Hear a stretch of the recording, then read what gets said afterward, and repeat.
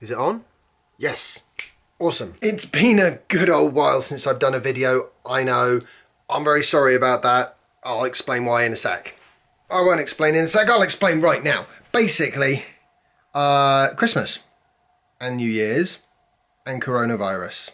Yeah, that was it. So yeah, I had a little little bout of COVID. Uh, luckily, I was fine. So was everyone in in my family who also got it. Jasper got it, which was interesting. He actually tested positive twice, which I thought was um hmm new variant maybe.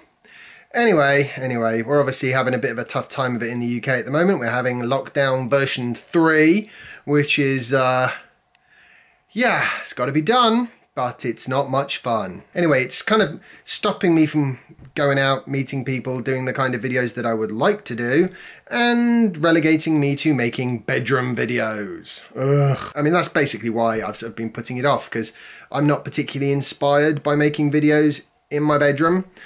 But I do have a plan that will enable me to hopefully get a little bit more out and about in some of these videos, just like maybe a tiny bit. Um, I mean, at the moment, God, it, you almost don't really need a car because you don't go anywhere.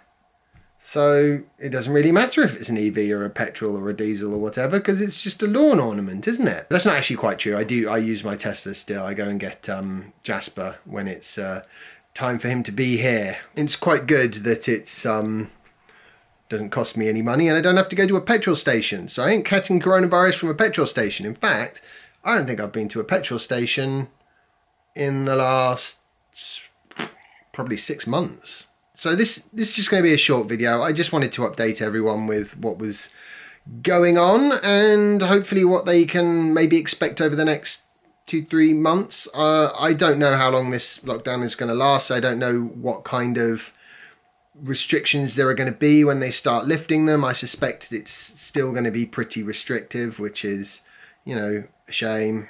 Um, but it's also, like I said, it is necessary. I'm not complaining about the restrict. Well, I.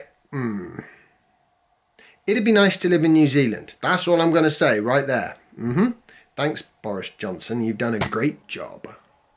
Anyway, I don't want to get into the whole politics thing because it's um, way divisive. And, you know, everyone's just kind of muddling through it as best they can, I suppose. Myself included. Right, let me let me show you something quickly. Hi, Millie. Right, check this out. I know what you're all thinking. You're wondering, where's the battery? And there isn't a battery. This is a for exercise bike. I know, crazy. But the good news is it means I can cover a huge number of miles, hopefully, and go see some slightly more interesting backdrops than just dining room, living room, bedroom. And I won't be breaking any rules because I'll be doing exercise and working. You know, I'm not looking for excuses to get out the house as much as I am wanting to not have contact with other people because, you know, that will stop the spread. So yeah, that's um that's what's going on with me at the moment. I have done a 33 mile ride on this already, got it about a week ago, and it's fantastic. It's a gravel bike, so chunkier tyres, pumped up nice and high because I don't like punctures. These are actually the new tubeless tyres, which is an interesting concept. Apparently they're supposed to be more puncture resistant. I'll let you know if I get a puncture. I have had to get used to the clipless pedals. That was interesting. Yeah, these clip into the bottom of your shoes. Even the dog's bored of lockdowns. You just want to go out, don't you, Millie? Yeah, I know. Won't be long now, I'm sure. Oh, cutie. Oh, I'm spending my day trying to sort out this storage area in between the two bedrooms. Bit of a disaster zone at the moment. Yeah, cycling. Really good fun. Amazing the number, the amount of distance one can um, cover on a on a bike like that without a battery. Although that does make going up hills considerably more exercisey. But I don't mind. I need the exercise. I'm still going for my runs. Still do that every now and again. I don't really enjoy the running. I enjoy the effect of running. Whereas with the cycling, I think I actually enjoy the cycling as well as the, the effect of the exercise. And on top of that, I look forward to the day in the summer when, you know, maybe I can go for a ride with other people, which would be something, wouldn't it? We all just live in hope at the moment, don't we? Still, it's horrible and it's winter and it's dark, so at the moment, I suppose we're not really losing all that much. Hopefully when the spring comes along, we can all get back to being a little bit more sociable with each other. Moving on, in the entertainment front, SpaceX is doing a good, good job of, uh, of entertaining us all. They're sort of hopefully going to be doing their SN9 test fire and test flight. Actually, I think the, the last static fire is supposed to be happening as I film this. And hopefully tomorrow they'll be doing a second high altitude test with the SN9 prototype. So I would imagine that'll be quite fun to watch. Certainly the SN8 one was.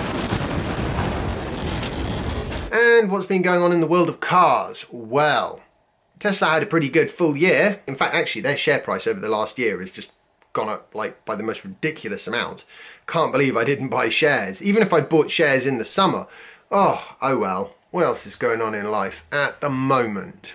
I do remember in my last video actually I said something about um, trying to compare a, you know what would happen if I bought a Fiesta instead of my Tesla Model S and I think I probably will look at that properly but I mean basically the long and short of it is over 130,000 miles the fuel savings alone are not enough to bring the cost of a Model S down to parity with the cost of a Fiesta, even when you consider the very high uh, residual value that the Tesla would have versus, say, the Fiesta, which would be pretty much depreciated to nothing by the time it gets to 130,000 miles. But even so, though, it's it is worth having a proper a proper look at it. I did I made a spreadsheet like a month ago and then I lost it, so I'm gonna have to try and find that again. Maybe I'll just redo it, to be honest, because it wasn't, I hadn't got very far with it. I just put some residual values in, worked out some depreciation and uh, some fuel costs and savings, both for electricity and obviously petrol,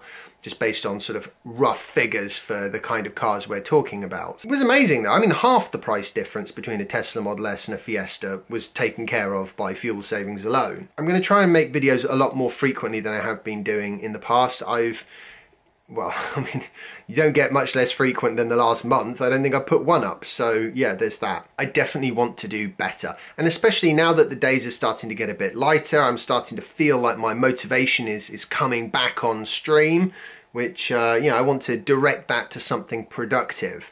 And well, there isn't really a whole lot that people can do at the moment, especially if you don't already have a job where you can work from home, which yeah, I sort of do, I suppose. Probably not a kind of mortgage paying kind of job just yet. Anyway, it'll keep me busy for a few months and I'm waffling now and yeah, you see I'm out of practice with this whole camera. That's actually a large part of the reason why I'm making this video is just purely so I have just a, a little bit more experience talking into the camera and hopefully when I make another video in probably two days time, I will then be a little bit better at it, hopefully. Organising my thoughts in a reasonably fluid manner um, yeah. You know, the second I turn this camera off, like a bunch of other things is going to pop into my head that I wanted to talk about and didn't. I hope you found this interesting and um, I assure you that I'm going to do more interesting videos in the future and hopefully quite a lot of them. I'm going to do my very best. I'm going to try not to just regurgitate news that I've read online because honestly, you guys can just go read it for yourselves online. You don't need me to tell you about it all. But sometimes, you know, when there's something that I feel is worth noting, I'm definitely going to, you know, talk about that. But um, I think the sort of the EV reviews and you know the kind of EV shows. Hopefully, I'm hoping the EV shows later in the year are going to be are going to be on.